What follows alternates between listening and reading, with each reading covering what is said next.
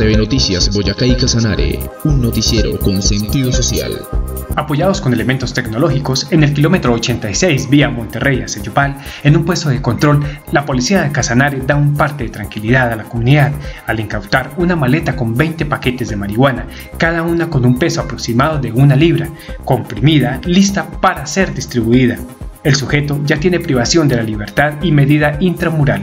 Esto en una operación o realmente en un puesto de control de, supervisión en el kilómetro 86 de la vía de Monterrey hacia Yopal.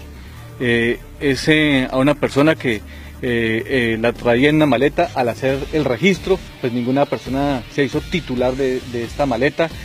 por, eso, digamos que acudimos a los medios tecnológicos, a las cámaras y en las cámaras identificamos la persona que era el poseedor. Eh, la procedencia es del Meta, el sujeto también es de Villavicencio Meta.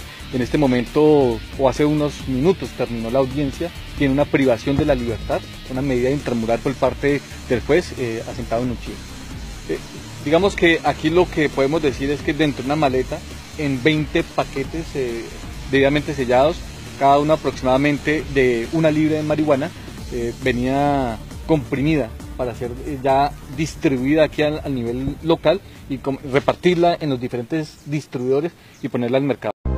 TV Noticias Boyacá y Casanare, un noticiero con sentido social. Y volvemos con la última pregunta en ¿Quién quiere ser vegasense? Silencio, por favor. Por 10 mil millones de pesos. ¿Está usted listo? Listo, Nairo, sí. El Papa Francisco tiene una virgen hecha en Ráquira, Boyacá. ¿Cómo se llama esta virgen? A. Francisca. B. Otilia. C. Isabelina. Se llama igual que el Papa, Francisca. Perdió, pero no se preocupe. Porque usted todavía puede ser millonario. La Lotería Boyacá entrega todos los sábados 10 mil millones de pesos. El premio mayor más grande de Colombia.